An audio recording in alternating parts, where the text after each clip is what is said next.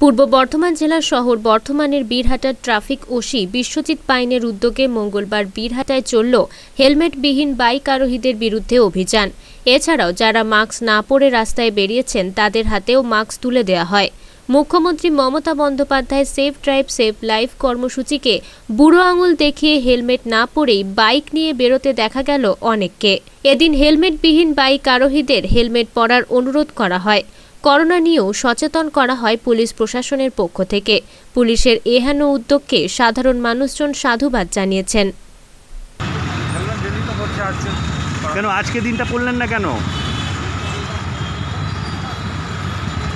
হ্যাঁ এখানে এখানে সবার জন্য নিয়ম এক আছে। আপনি কেন হেলমেট পরছেন না? হেলমেট নিয়ে এসছেন?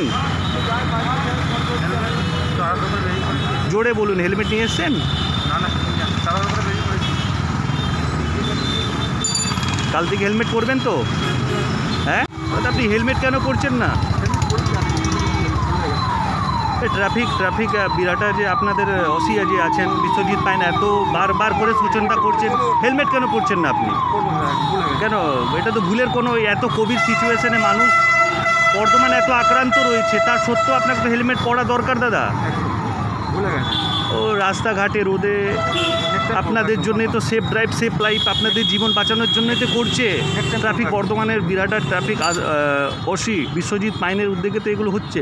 এগুলো কি বলবেন? আপনি কেন করছেন না উচিত করা উচিত এখনই হেলমেট পরুন হেলমেট নিয়ে এসছেন? না নিয়ে এসে গদি আছে আমার গদি থেকে নিচ্ছি।